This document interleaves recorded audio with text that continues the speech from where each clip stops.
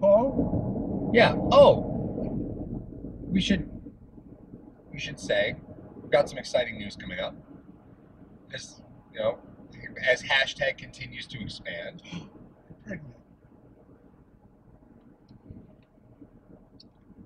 Roll the clip, monkeys. Here, Paul, Mario, uh, hit the subscribe button, hit the like button. No, we shouldn't air that. You've chosen wisely. you, you, you, you're cool. you. I'm out. Go with that. All right, somebody woke up in a mood. Oh, tell me I'm wrong. what happened to our show? Guys, this is why we can only see each other once a week. You get no orange slices after soccer practice today. What's up? I see draft picks. Well, you know what they say. Genetics, Pee Wee. I can't top that. That's the end of the episode.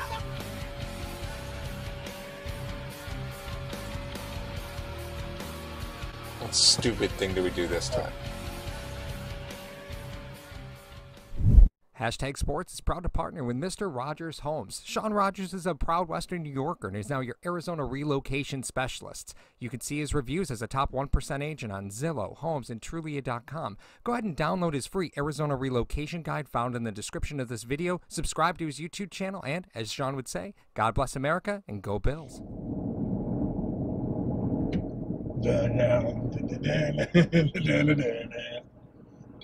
What is the movie Junior?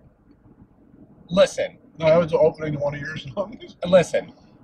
In this relationship, I'm clearly the Danny DeVito to your Arnold Schwarzenegger.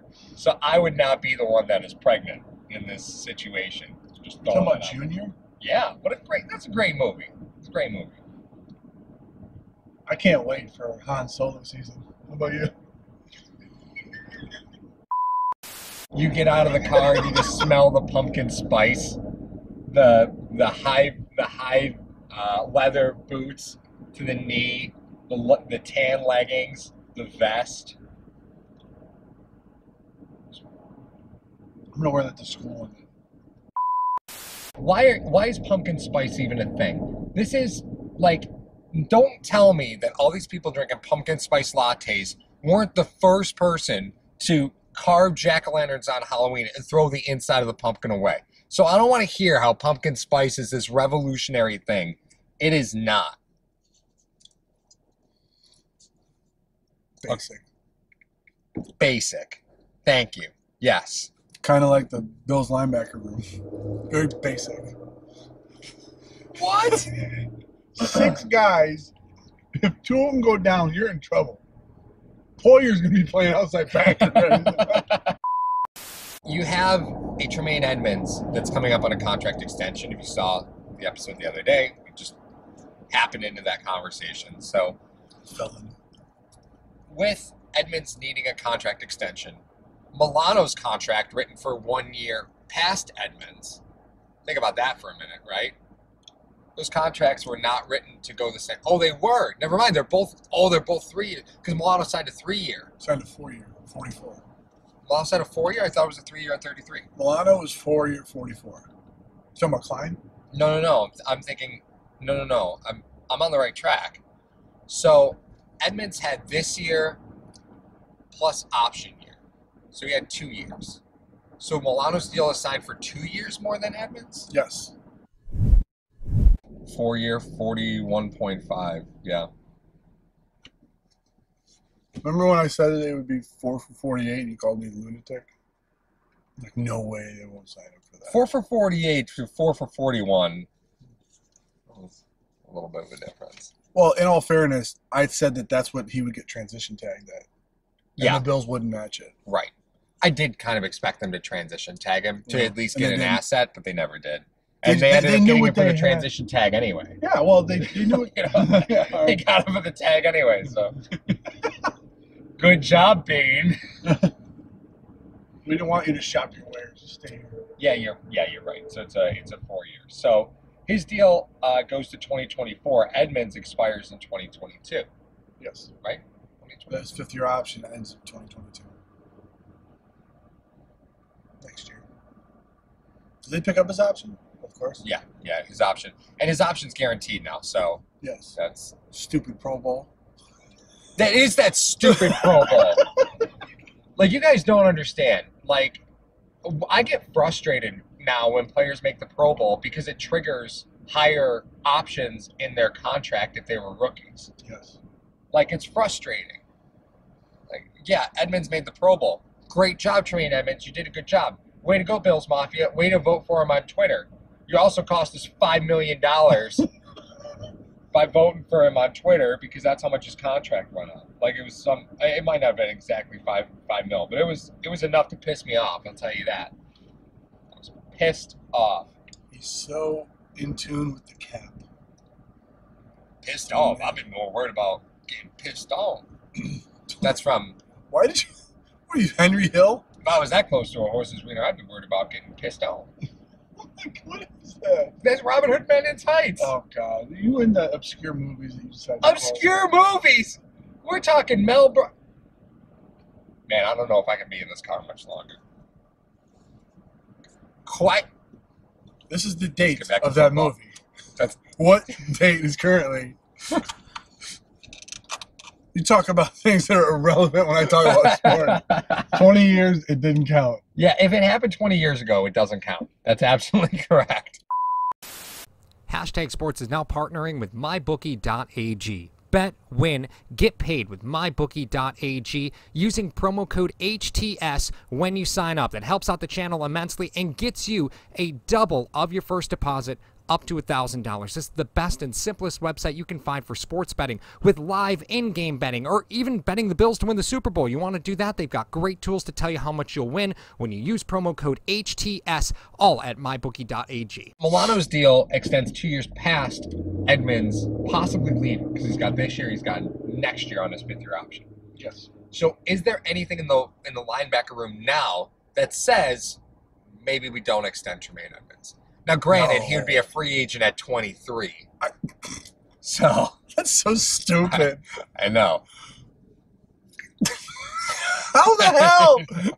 That's what happens you come into the league at twelve. Like I can't believe it. It's so. It, the Tremaine- looking for his next deal Tremaine- when guys come into the league. Tremaine was just months into having his night license when he was a first round draft pick. Oh my god. Remember, Truman, got to be in by nine o'clock.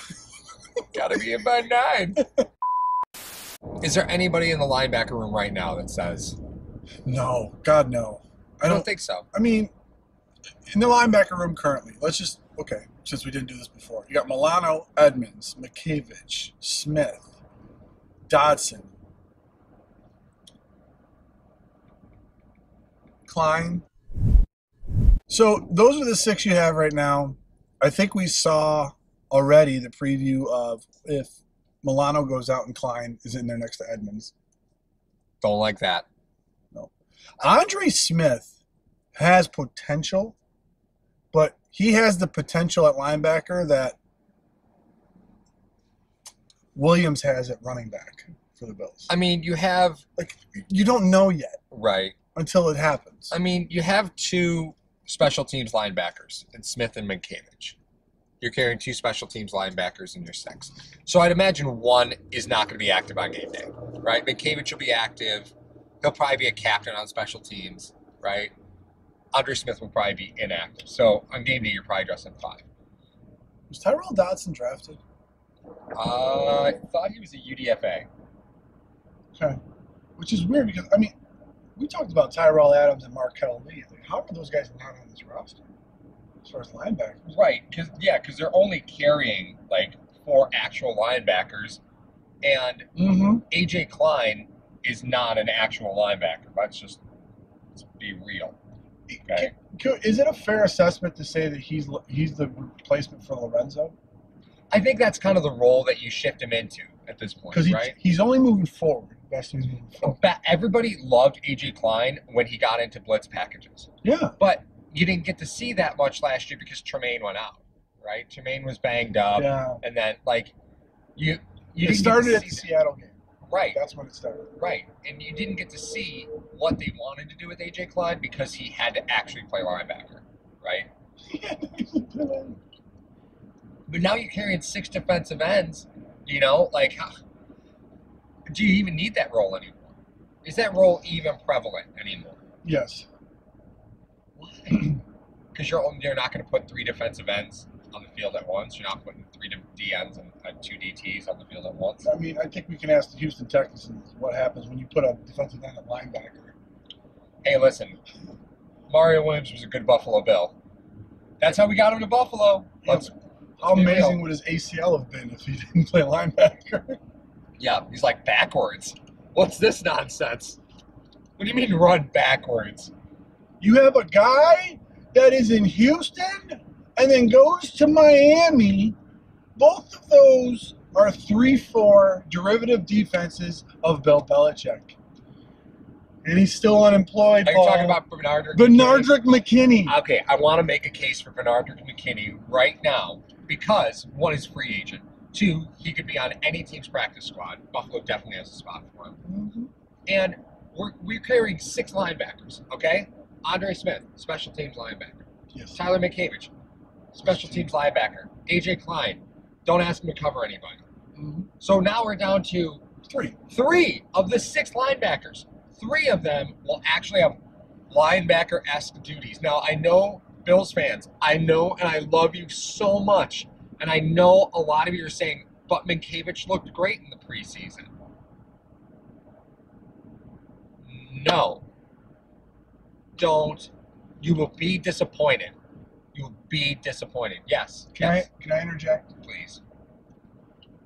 Um, in 2008, you guys remember the Detroit Lions went 0 16?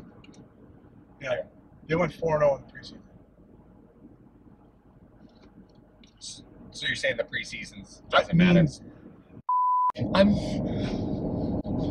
I hate the preseason. Matakevich is an interesting case study because he's like the Rudy of linebackers, right? Rudy's He- offsides. Just ask Joe Montana. I am most concerned about depending on a player like Matakevich for depth. I, I guess I'm more comfortable with Andre Smith as linebacker depth in that respect, but he doesn't have much more NFL linebacker experience than Matakevich does, if, if any. So, like, you just you start peeling back the layers of the onion, and you're like, okay, wait a minute here. Maybe we're not as deep as the wow, we're carrying six linebackers. We must be set at the position. Well, if you're only playing two of them and you feel like you're going to be a nickel majority of the time, then it begs the question, Paul, which probably takes us to another episode, unfortunately. Unfortunately, bro, we're out. Where where are we right now? Uh, We're just passing Kaz Creek. Everybody got a GPS? You think they'd carry more defensive backs, is my point. They're only carrying six linebackers. Right. And they're not. Right. But you have, as our discussion yielded earlier, they draft athletes. Mhm.